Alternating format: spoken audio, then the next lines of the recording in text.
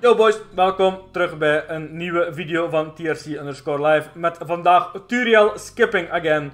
Ehm, ik ga jullie nu laten zien waar jullie het best eigenlijk scorpions killen.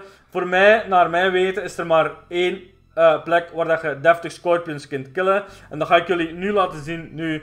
Ik ga mijn uh, Maxcape gebruiken om naar mijn POH, mijn huis te teleporteren. Jullie kunnen gewoon een huisstap gebruiken of uw construction cape, het maakt niet uit. Ehm, en je moet natuurlijk ook een jewel box hebben, want anders moet je... Je moet eigenlijk naar de mining guild geraken.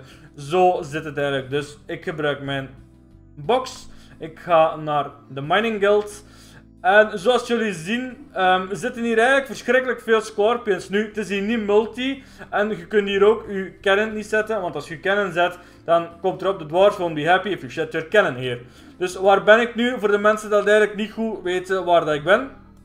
Als je deze cave naar binnen gaat, zit je bij de Motherload Mine. Een beetje voor jullie oriëntatie. Um, hier is de Mining Guild zoals jullie zien. En als jullie via de berg bij Falador komen, gaan jullie bij die dwergen hier naar binnen, dan een beetje naar onder lopen. En dan zijn eigenlijk gewoon hier de scorpions.